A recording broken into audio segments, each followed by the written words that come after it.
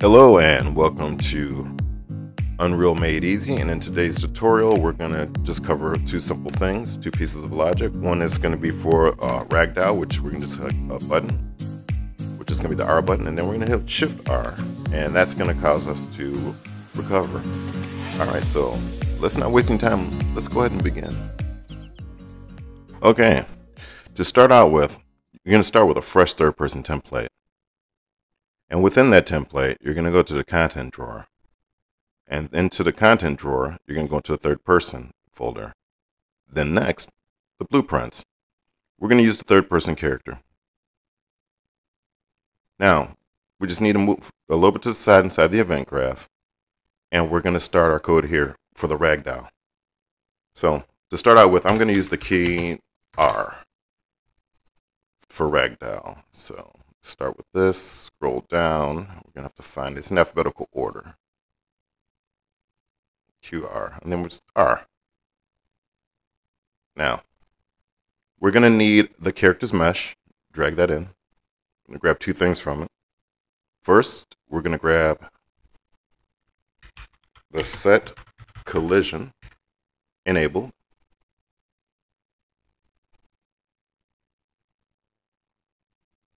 Connected.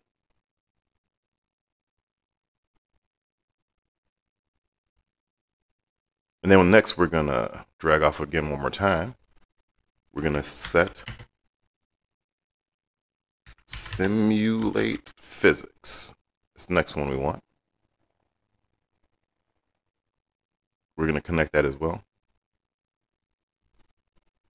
For the collision settings here, we're going to change this to collision enabled Query and physics. And then we want to set simulate for true. Next, we're going to grab the movement, the character movement, drag from the character over here, set here.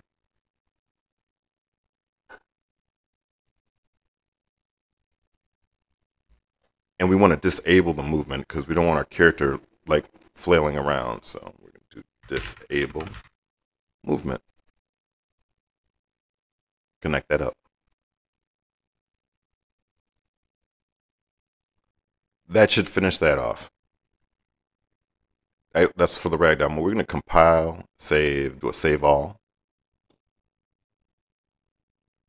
We're going to copy the, the R key, Control C, and then Control V. And then for this one, we're going to select it and in the details, we're going to use Shift for the ragdoll recovery. Okay. Oh, one more thing we're going to add. We're going to add a variable right here in the variables. And we're going to say ragdoll. So that way we know we're in ragdoll mode. Enter.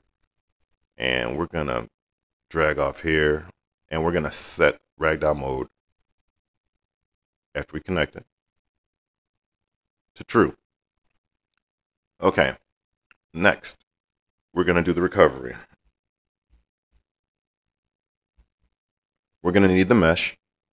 Grab the mesh, drag it in, and we got to do the same thing. We're going to set simulate physics, set to simulate physics, and that's going to leave that as false. We're going to drag in our ragdoll and we're going to set the ragdoll the false. Connect that up.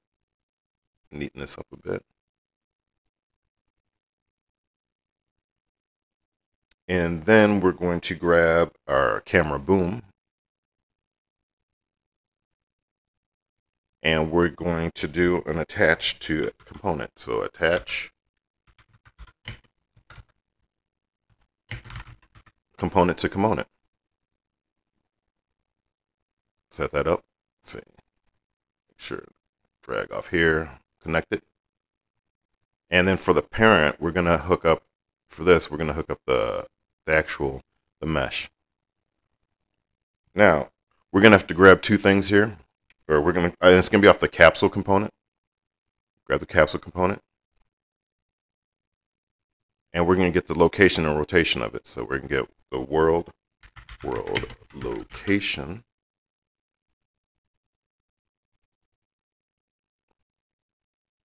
Get world location. And then we're going to get world rotation. Rotation. There we go. Neaten it up a bit.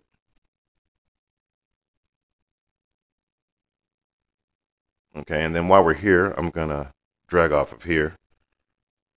And we're going to do a minus sign for the subtract.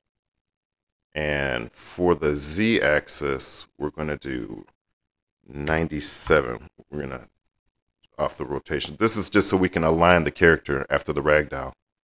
Then for here, we're going to right click and we're going to split these pins. And then we're going to do for the z-axis here, we're going to do another subtract. And for this, we're going to do 90 degrees. Okay, next we're going to need to grab our mesh again. Drag it into the viewport or into the event graph. And we're going to set the location and the rotation. Set world location and rotation. We're going to use this one here. And then for this, we're going to we're going to hook up the rotation, I mean the location.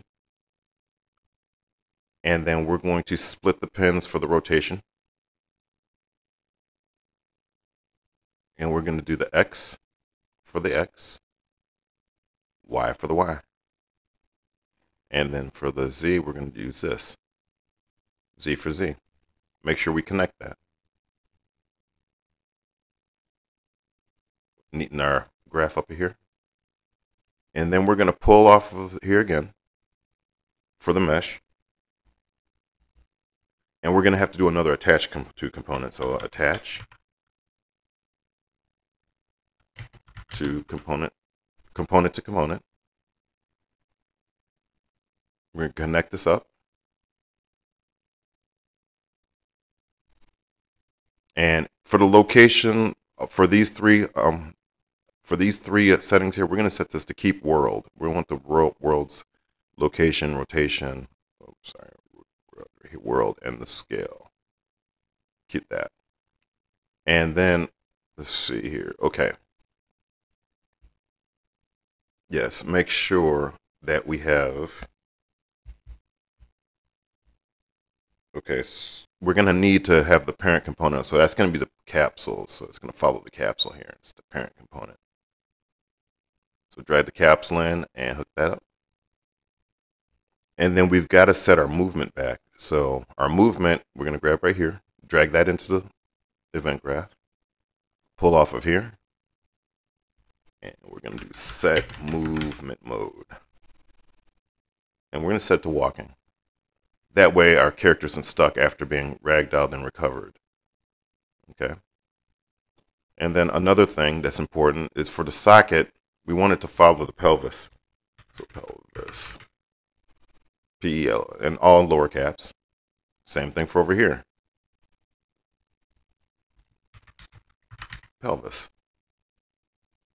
And you want to compile, save, and then save all.